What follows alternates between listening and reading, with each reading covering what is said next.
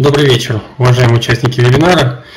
Меня зовут Алексей Дьяков, я являюсь ассистентом Владимира Марковича Маслова, который сейчас возвращается из Риги и, к сожалению, немного опаздывает на вебинар, но обещает нам привести очень хорошие интересные новости, касающиеся Skyway. Э, надеемся, что минут через 15 он уже присоединится к нам, поэтому я прошу вас набраться терпения, ведь хорошие новости Надеемся, этого стоит. Со своей стороны, э, я попробую самостоятельно провести эти 15 минут и прошу вас простить меня за возможные э, такие ляпы. Это мой первый самостоятельный вебинар. Обычно я просто помогаю Владимиру Марковичу э, готовить материал, касающийся адресных проектов. А сегодня мне выпала возможность сказать тоже слово вот. Эм. Да, извиняюсь, сейчас попробую звук потише. Так уже получше или все равно громко? Так лучше, да? Да, спасибо за поздравление. Сейчас меня слышно хорошо? Нормально, не громко? А, теперь громче. Так. Может быть, мне тогда потише чуть говорить? Сейчас нормально, да? Хорошо. Наверное, я слишком громко говорю, поэтому буду немного тише, тогда микрофон, наверное, справится. Э, я хотел бы сейчас затронуть э, тему Австралии, о которой сейчас так много говорится в нашем скайвейском сообществе – и параллельно постараюсь следить за тем, как на вебинар войдет э, Владимир Маркович. Тогда я сразу уступлю место ведущего ему, и он уже поделится с нами новостями. Вот. Если у вас будут вопросы, я постараюсь также следить и за чатом, и постараюсь в силу своей компетенции отвечать на них. Вот. Хотел бы я начать со слов Виктора Бабурина, который, как вы знаете, э, является заместителем директора по развитию ЗАО «Струнные технологии», э, который в своем выступлении как-то сказал, что адресные проекты Skyway также можно отнести к ноу-хау. Именно по этой причине информация о них является иногда закрытой и выдается лишь тогда, когда происходит уже конкретное событие, а не планы.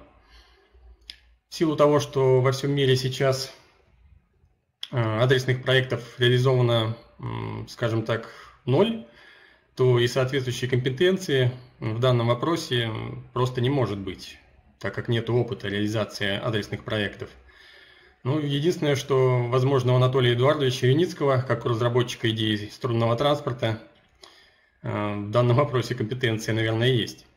Поэтому любые вопросы, касающиеся правильной инициации и реализации адресного проекта, которые мы часто слышим и на вебинарах, и в чатах скайпа, иногда остаются просто без ответа. Именно по той причине, что просто нет опыта и нету правильного, скажем так, правильных действий, как э, реализовывается адресный проект. Тем не менее, э, на данный момент ведется активная работа по инициации адресных проектов Skyway. И если вы решаетесь инициировать адресный проект Skyway, то как бы с нашей стороны есть рекомендация найти э, себе партнера. Партнера, именно опытного партнера, который уже осуществлял строительство или сопровождение проектов по строительству дорог, мостов или других транспортных систем.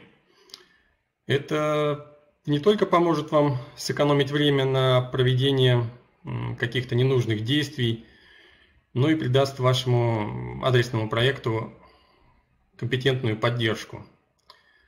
Э, на данный момент из основных проектов головной компании Skyway можно назвать Австралию.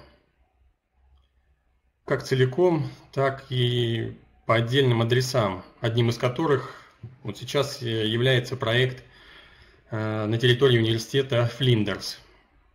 В конце апреля на одной из конференций Skyway э, была проведена презентация адресного проекта Flinders – который является по своей сути первым пилотным проектом струнных технологий не только на, на территории Австралии, но и в мире. Первым, ну, по той причине, что в отличие, например, от э, нашего техно, экотехнопарка, в который мы все активно инвестируем, э, он имеет, э, адресный проект во Флинтерс имеет прямое назначение. То есть его задача соединить учебный центр и университета и кампус, что позволит студентам Э, безопасно и быстро э, передвигаться от общежития э, к учебному зданию. Длина, длина ветки на территории Флиндерс, она будет около 500 метров или 500 метров, даже так точнее, не около. Высота опор э, от 5 до 15 метров, так как на участке есть пересечение, вот на схеме вы можете увидеть и с железной дорогой, и с автомобильной трассой. Скорость данной ветки максимальная 100 км в час, но это, видимо, просто предельная скорость, э, потому что, скорее всего, на 500 метров такая скорость и не потребуется. Э, скорее всего, это просто технические характеристики. Э, данной, данной трассы. И объем перевозок порядка 900 тысяч человек в год. Инициатором проекта является Ротхук, который активно продвигает Skyway на территории Австралии с 2015 года. Я думаю, что многие из вас слышали его и видели его на фотографиях. Э, появление рода Хуга, явля... Хука извините, является ярким примером когда простой частный инвестор, в данном случае учитель русского языка из Австралии Мила, написавшая письмо как потенциальному клиенту Роду Хуку о инвестиционных возможностях Skyway, э, написала ему письмо, чем вызвало у него большой интерес и как впоследствии всплеск инвестиционных предложений. Э, Род Хук э, посетил осенью, в сентябре 2015 года, экотехнопарк в Мариной Горке, конструкторское бюро, лично общался с Анатолием Эдуардовичем Юницким, и в сентябре были подписаны двусторонние соглашения между ними. И после этого Род Хук активно начал, э, так сказать, пропагандировать Skyway в Австралии – он привлек э, достаточное количество частных инвесторов, и буквально вот через полгода, прошло полгода, и уже есть реальный проект, о котором сейчас уже можно говорить смело, открыто, что он осуществляется. И даже еще в апреле Э, Виктор Бабурин на своей конференции говорил о маркетинговой кампании в Австралии, запланированной на май 2016 года, именно на этот месяц, который сейчас идет. И в мае эти планы уже действительно осуществляются не только на территории Австралии, но даже в российских СМИ Ну, простите, здесь пишет, что презентация еще слышна. Это у всех или только у некоторых?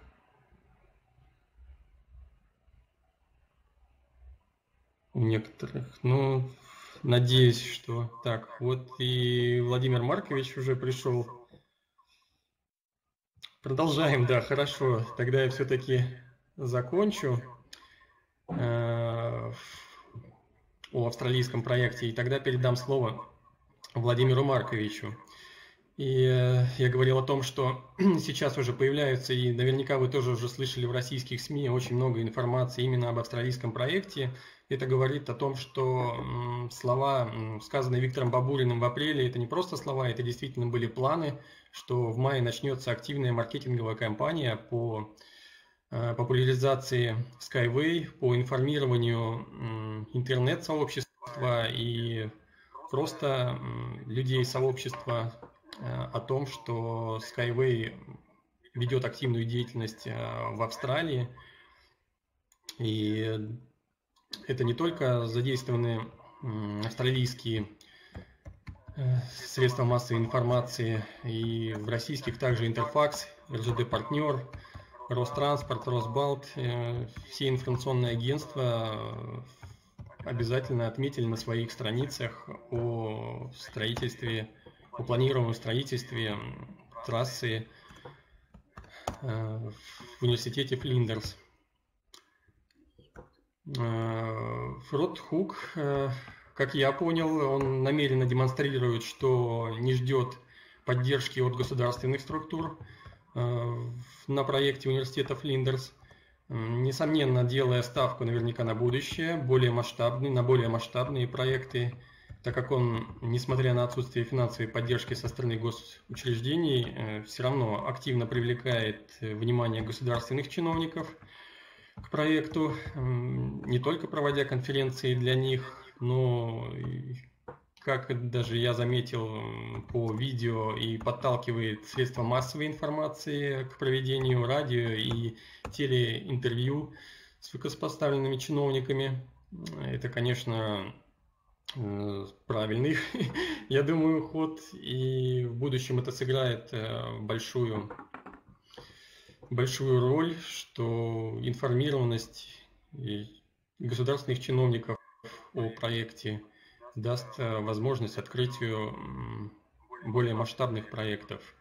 И адресные проекты рода Хука – это вот яркий пример, как быстро и компетентно инициировать, инициировать адресный проект, который не только будет осуществлен в короткие сроки, но и откроет дорогу более масштабным проектам Skyway – я думаю, тем, кто хочет э, реально инициировать э, в своем городе или в своей стране адресный проект, это стоит поучиться у рода Хука, как буквально за полгода можно осуществить и реализовать э, идею до реального строительства трассы Skyway и стать одним из первых так сказать, э, на пути э, ну, на пути строительства новых технологий.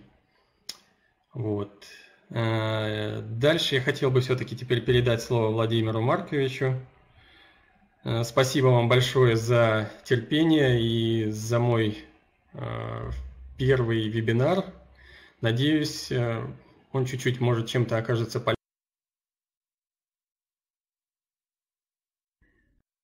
Спасибо, во-первых, Алексею, что он э, э, помог и как бы э, дал возможность мне доехать до дома и до компьютера. Я прямо, как говорится, с корабля и на наш бал сегодня, дорогие друзья. Я из Риги.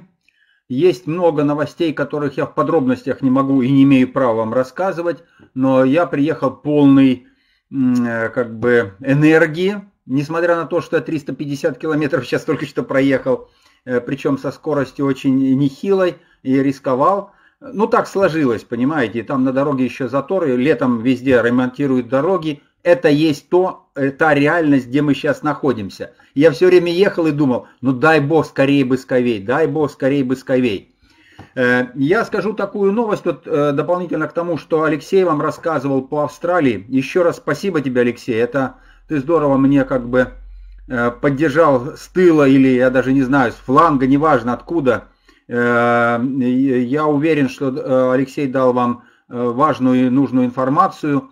Э, может быть, большинство или кто-то из вас уже знает это, ничего страшного. Э, какие-то новые детали вы услышали, э, какие-то новые нюансы вы услышали. Я хочу здесь только значит, усилить вот его последнее, то, что я еще уже услышал, когда он говорил, что австралийский проект, он не на государственном финансировании. И это было четко сказано. Те, кто участвует в чате, вчера Алексей задавал вопрос, что как же так, там же очень четко сказано, что государство не будет финансировать. А вы себе представьте, как бы этот проект или вообще как этот старт бы выглядел, если вдруг в СМИ появилось, что о, где-то далеко-далеко в Белоруссии начинают или начали, идет там строительство э, экотехнопарка, подготовились к сертификации, и не важно, что там еще дополнительно к этому. И вдруг э, государство начинает финансировать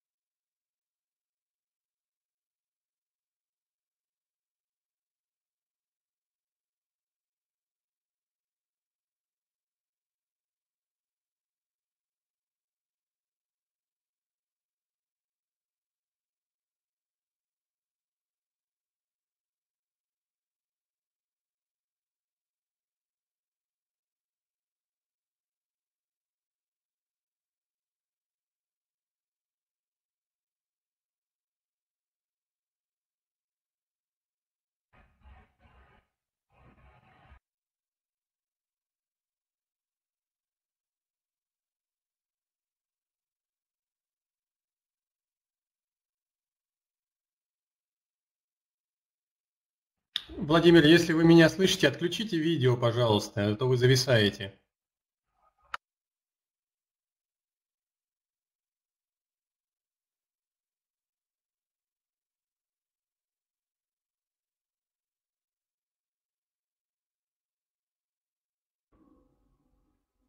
Сейчас слышно? Нормально? Звук квакает. Нормально. Все, слава богу. Лягушек выгнали. Да, не видно больше спикера. Все правильно, Виктория. Все, меня задвинули. Сказали, что как только я себя показываю, начинают лягушки вылазить весенние. Ну вот. Э, таким образом, вернемся обратно к свод-анализу или к возможности использования свод-анализа. И э, любой проект, и вы приходите, например, к человеку рассказывать и говорите, что вот сильные стороны этого, этого э, дела, какие у нас сильные стороны? Того, что это современнейшая, значит, новая технология нового поколения. Сильная сторона, да, сильная сторона. Является ли сильной стороной то, что эта технология является зеленой? Абсолютно. Она э, природа сохраняющая, является сильной стороной то, что э, это, она не зависит от э, погодных условий. Абсолютно сильная сторона. Э, и тогда вы вспоминаете ту справку, которую я как бы вам представлял. И там в справке все эти вещи есть. Что еще является сильной стороной этой технологии? То, что имеется народное финансирование. Но тут есть и слабая сторона. Что, что в слабой стороне? В слабой стороне то, что народное финансирование не, гарантирует э, обеспечение денежного потока, необходимого для строительства или осуществления этого проекта. Да, оно дает, и это возможность, она, она находится и в возможностях, но это, в этом и есть слабость того, э, что сейчас происходит. Да? А что является опасностью? Опасности здесь э, тоже есть э, целый ряд. Э, первая опасность то, что недофинансирование. Это опасность, опасность. Э, но э, есть возможности, есть возможность привлечения дополнительных инвесторов, чем и занимается компания. То есть все происходит по, этой, по этому как бы квадрату или по этим квадратам или по этому кресту свод метода. И поэтому я рекомендую к этому вернуться. В следующий раз мы основательно попробуем разобрать какой-нибудь или проект, или вообще саму технологию по этому методу. А, таким образом, э, я сейчас э, вернусь еще обратно. Сила финансирования э, в справедливом МЛМ. Да, конечно, тоже вариант, абсолютно правильно, Евгений, да. То есть MLM, я бы даже сказал, не столько в самом MLM. MLM это метод. Значит, а в использовании multi-level маркетинга, да, согласен. Но сильной стороной является или Э, мы использовали эту возможность, даже это скорее всего возможность, если так вот порассуждать. А сильной стороной является то, что хорошо разработан маркетинг, использующий вот этот многоуровневой маркет, э, то есть э, маркетинговая система, которой мы пользуемся, большинство из нас, кто мы наверное, сегодня слушаем, это люди, которые, ну и что тут греха таить, являются какой-то на каком-то уровне в системе скайвеевской. Э, поэтому здесь есть такие нюансы и согласен. Значит, э, Родион, там твое инвестирование, наши деньги идут только на эко-технопарк. Ну, да, да, абсолютно правильно. Вот, э, сила определенная. Так, что там еще? Ведь таких проектов может быть сотни, и на все нужны будут дополнительные средства. Естественно, каждый проект есть... А, спасибо, кто это спросил? А, Родион, да? Абсолютно, Родион, вот смотрите во всех, э, значит, были три встречи, э, и я повторю, что красной нитью проходит по всем, э, типа того, что, а где деньги взять? Где средства взять? Понимаете? И тут начинается, то есть основным вопросом является, да, можно одно, другое, пятое, десятое сделать, но основной темой является то, как обеспечить схему финансирования. И каждый следующий проект будет таковой. Но вы поймите правильно, что с нарастанием потенциала, а это является возможностью, а, то, что экотехнопарк развивается, он переходит, когда он переходит или перед тем, или уже на этапе, а, на, э, скажем, э, последующих или более поздних этапах э, вот этого проекта скажем там, с 10 и выше, когда полным ходом идет сертификация, да, появляются возможности усиления процесса софинансирования. В каждый конкретный проект, а я уже сказал, мотор-колесо конкретный проект, готовы войти уже конкретные софинансисты. Когда мы будем доводить до ума схему финансирования этого проекта, то там выяснится, сколько же надо дофинансировать за счет, скажем, э, народного финансирования или за счет вот этих э, площадок, которыми пользуется проект, или, или, или вернее, на которых и стоит сейчас проект экотехнопарка. А мотор колеса, она является э, и прямо, и косвенно элементом именно вот этого экотехнопарка. Он будет развиваться, там уже сейчас как э, говорят специалисты, появился целый ряд новых решений, которые требуют э, еще испытаний, и оно станет еще совершеннее, оказывается. О чем сейчас даже боятся говорить, э, потому что это надо все отрабатывать сначала в лаборатории, рассчитать. Э, э, да, в какой-то степени э, Олег правильно, мотор-колесо это не объект, а это элемент э, экотехнопарка, Э, поскольку не будет мотора колеса, не будет э, э, этого юнибуса, не будет работать эта технология. Поэтому абсолютно правильно, это чистейший элемент производства, или мы даже называть его, я предлагаю его даже и предложил сегодня, что лучше его называть так называемым пилотным проектом, пилотным производством. Вот, и Э, таких производств по миру будет в ближайшем будущем, я вас уверяю, будет много, где будет производиться мотор колеса. Потому что, чтобы на Юнибус поставить, я просто условно говорю, поставить, э, скажем так, э, экономически эффективное одно, один комплект мотор колеса, нужно это делать не при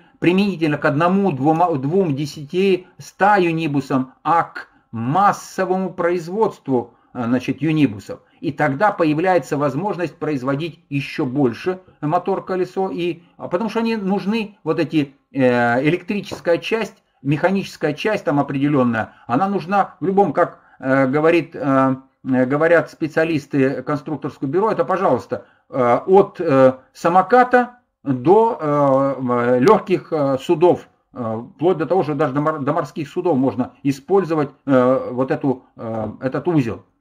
Поэтому заказчиков много. А почему именно, вы скажете, кто-то скажет, ну да, масло, там вы нам сейчас немножко загибаете. Нисколько. Дело в том, что есть конкурирующие, даже не, ну да, параллельные мотор-колесо, кто выпускают. Но у нас у, у Скавеевского мотор-колеса есть свои особенности. Вот, я о них уже говорил.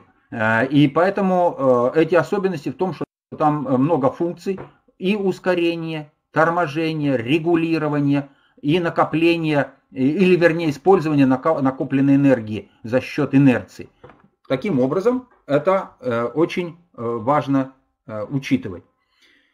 Эм, и в связи с этим э, у нас есть целый ряд преимуществ. Так, что тут вы еще пишете? Людмила, мы э, слышали только спикера. Слышим только спикера. Да, правильно. Слушайте только меня. Спасибо. Вот. Э, дорогие друзья, есть ли у вас вопросы? Я вам скажу прямо, что я, я бы сегодня, если у вас есть вопросы, я сейчас готов на них ответить. Может быть, есть предложения не стесняйтесь. Э, потому что э, сегодня я встречался в Риге с человеком, который на вебинаре, случайно абсолютно в мэрии, значит, он говорит, вы знаете, э, господин Маслов, я вас слушал в этом на вебинаре, вот, и у меня возник, я как-то не спросил, вот, и он задал вопрос, как, как я думаю, должно быть вот один проект. И пока мы с ним обсуждали этот проект, он тоже Э, связан э, с одним э, портовым городом в Латвии. И выяснилось, что очень интересная тема могла бы быть, если рассматривать там вариант именно карго, карго вернее, извиняюсь, это грузовой вариант Skyway транспорта. Вот. Там очень интересная схема могла бы быть. Он говорит, вы знаете, вот хорошо, что я не постеснялся сегодня у вас спросить, э, задал вопрос, и теперь стало все намного ясней. И он быстро побежал, значит, говорит, я теперь буду готовиться, мы с вами еще свяжемся. Э, Борис в будущем, так, э, акции будут стремительно расти, на данный проект огромный спрос, который востребован. Евгений пишет, да, Тарас всего мира. Правильно, а обесцениться акции могут только если... А, вот еще тоже интересно, сейчас расскажу. Если забросить, э, развивать данный проект, они не только обесценят, э, э, вот как вы себе представляете, как можно забросить этот проект? Это надо быть или просто, значит, э, или, или значит, э, э, что-то должно такое вот э, случиться, что, например, в мире скажут, какой там Skyway, нам бы на лошадях двигаться. Вот единственный вариант, друзья.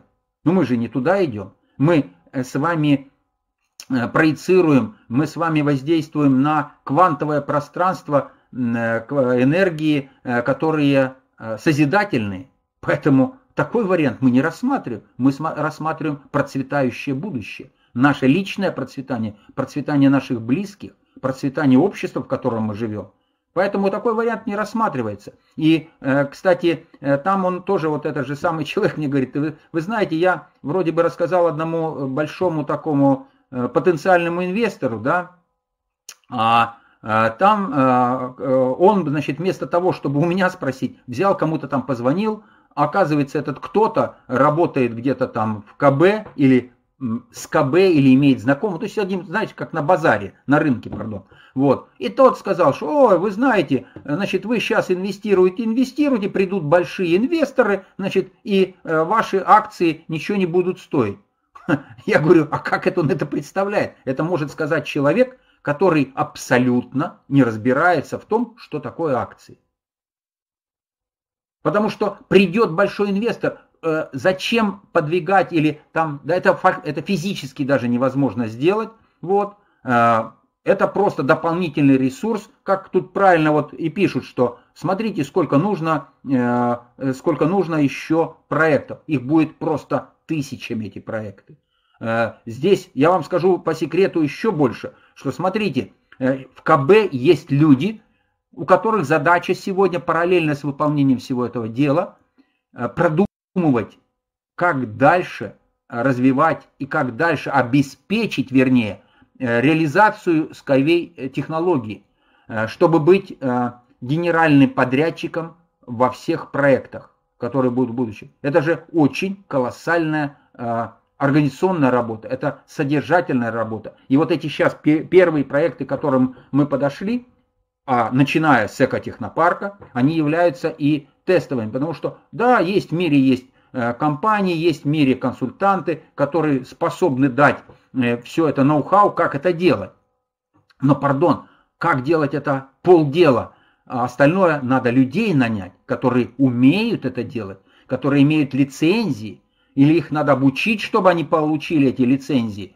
Потому что нельзя развивать эту технологию, скажем, э, от просто так, что ты умный. Э, даже э, УКБ, э, эта технология, Юницкий неоднократно Анатолий Эдуардович говорил, что эта технология требует, чтобы были все лицензии, и класс квалификации специалистов и компаний был бы соответствующий. Значит, Хук в, в Австралии, он, он же ведь что сделал? он в первую очередь подобрал компании, которые являются лицензированными компаниями, в тех, от, начиная там и в строительстве, и в консультировании, и значит, э, в материалах, и в, различным, э, в различных вопросах, которые необходимы для проектирования, которые необходимы для того, чтобы развивать вот этот проект, пилотный проект, назовем его так, он таковой и есть в принципе, потому что за ним стоит целая серия транспортных трасс. Это входная точка. Ее избрали. В Австралии ее избрали. И вот с нее сейчас входит. Э, таким образом, это все, друзья, очень важно. Э, Родион, значит, от, отожмитесь. Не, я не подписан. Так. Э, лень ломает больничная койка. Если жить, конечно, хочется. Окей. Значит, у вас идет такая, скажем, КВНовская дискуссия. Это тоже хорошо, это нужно. Вот. А что там было? Владимир Самара, скайпе. Значит, проще будет, э, вы мне, это, а, вы кому-то дали там свой, да? Скайп. Мой скайп я потом в конце покажу, если кому-то надо со мной соединиться, вы увидите. Мой скайп, вот он здесь, значит, есть. Э, он кому-то, может быть, если есть вопросы, сейчас не хотите о них говорить, я, значит, просто вам покажу. Вот мой скайп здесь. Скайп Вальдемар, а, Вальдемар 13. И, пожалуйста, обращайтесь, я вас подключу к чату, если вы еще не в чате по целевым проектам. Это чат так называется. Вот. Э, и я позволю себе все-таки пройтись еще по э, пакетам, которые у нас есть. Э, поэтому что я могу сказать? Смена дисконта, вы о ней узнаете в ближайшие дни. Э, это не вопрос не в том, что не хочется так делать, чтобы э, сказать, а потом что-то... Еще идет расчет, э, чтобы достаточно точно. В принципе, он есть. Смотрите, есть уровень. Смотрите, мы посмотрим здесь, стоп. Значит, смотрите, здесь есть уровень, в пределах каких у нас будет. Вот седьмой этап. 1 к 150, 1 к 400. Вот игровое пространство. Я извиняюсь, это в хорошем смысле. То есть это то, та площадка, на которой мы будем работать седьмой этап. Есть э, интересные предложения, мы их увидим, услышим. Поэтому сейчас призываю в хорошем смысле этого воспользоваться тем, что на сегодняшний день есть до конца месяца и э, как бы передавать эту информацию другим. Э, тем самым служа тому делу, за которое мы взялись. Неважно в каком, на каком уровне, в каком объеме и так далее. Каждый вносит свой посильный вклад. И это очень важно. Значит, далее, что у нас здесь есть? Смотрите, и потом э, еще раз э, возвращаюсь к этим пакетам. Пожалуйста, вот старт, сеньор, стабильный и бизнес. Они будут. Другое дело, что здесь может измениться? Может измениться дисконт, скорее всего, и он изменится, да, э, какие-то дополнительные бонусы появятся или что-то уберется, да. Дальше, что у нас здесь еще есть? Смотрим дальше. Э, у нас есть э, новые пакеты. Здесь дисконты, по всей вероятности, не сильно изменятся, потому что здесь суммы не маленькие, вот, но что-то может измениться. Дальше. Э, деревья, я ну, 100% не уверен, но по всей вероятности они уйдут. Если, например, я еще планирую этот один пакет деревьев заказать, вот в самый последний момент, чтобы я будет уже идти, чтобы потом показывать тут моим некоторым оппонентам, показывать, смотрите, этап идет, а, а я еще по прошлому этапу плачу значит, э, по, по соответствующим тут суммам. Вот. Но находясь уже в седьмом этапе. Это так, как вариант, да? Вот. Э, они э, и в какой-то момент, в какой-то момент, то есть все остальные с 1 июня уже не будут иметь этой возможности. И, и появятся деревья, а, я могу так, есть смысл это сделать в какой-то период в середине или в конце лета, то есть осенний этап сажать еще очень много в экотехнопарке. Если мы сейчас посмотрели бы, там вы видели э, уже неоднократно э, э, макет экотехнопарка, там есть много, целая аллея, которая, значит, эм, должна быть вдоль трассы городского, сертификации городского и скоростного транспорта. Те, кто были, знают, там такая была из камней выложена дорожка. Вот, вернее, она не, вы, не выложена, а как бы выкатанная. Вот. Там будет э, аллея. Э, дальше юбилейный. Здесь, по всей вероятности, сохранится. Э, здесь какие-то изменения будут. Вот. Но увидим. Ну и, естественно, самые основные изменения будут здесь. Потому что потому здесь дисконты будут, значит, начиная, начиная от 53 и так далее выше. До 300, там еще выше тоже есть. Э, так, есть ли там вопросы, дорогие друзья? Э, так, сейчас посмотрим, что они там говорят. А, а еще пакеты по 10 не показаны. Не показаны, да, не показаны, друзья. А капитал, э, в капитал нет по 10. Вот правильно, спасибо, Людмила. кто-то заблудился на площадке. Войдет в историю. Конечно, войдет абсолютно. Да, австралийский войдет, потому что это первый пилотный проект, который начнет. Начался. Все, он не начнется, он начался.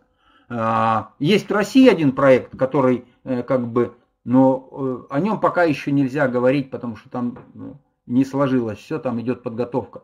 Ротхук очень быстро, я согласен, 110% поддерживаю то, что Алексей вам сказал, что Ротхук а, профессионально провел период, смотрите, с августа месяца прошлого года. Я его встретил, когда он первый раз был э, в Минске, э, в КБ, э, имел честь и удовольствие с ним немного побеседовать.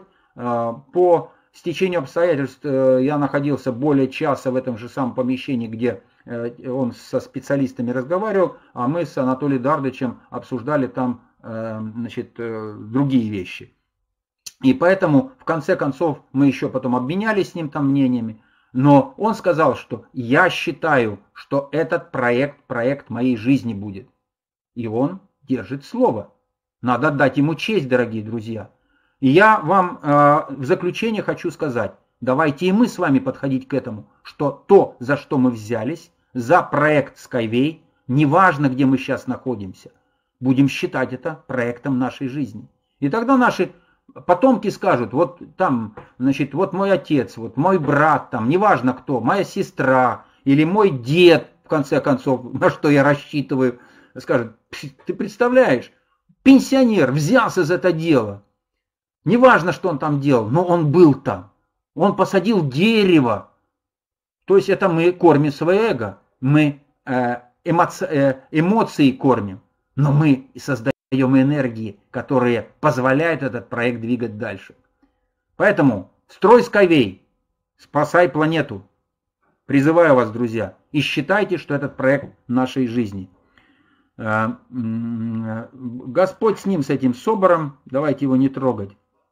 Э, э, по Свигу другие будет еще разговор, потому что сейчас действительно там есть нюансы. Э, это не тема нашего сегодняшнего разговора. Может быть, я что-то прокомментирую на следующий раз. Э, хорошо, что вы задели эту тему, но прошу здесь сейчас пока не, не говорить. Э, строительство этого проекта в Австралии. В Австралии, я могу сказать, Ирина, что начало этого проекта, вернее, проект начался, а строительство начинается в, в конце года, или вернее в конце осени. И поэтому зависит от того, ведь пока проектная документация не сделана, трудно сказать, кончится это в апреле, кончится это может быть там раньше, может быть позже. Но, скорее всего, э, займет какое-то время. Не берусь здесь э, прогнозировать, я не специалист. Поэтому э, вот таким образом надо к этому подходить. Так, если у вас, есть ли еще вопросы или комментарии? Если нет, все, я уже призвал, строй Skyway, спасай планету. Я желаю вам Э, удачно завершение недели, э, удачно работать над, с тем, что вы берете, и взять этот проект делом своей жизни, и в этом успехов. Только так мы достигнем процветания, к чему мы и стремимся. Всех благ вам и вашим близким. Спасибо.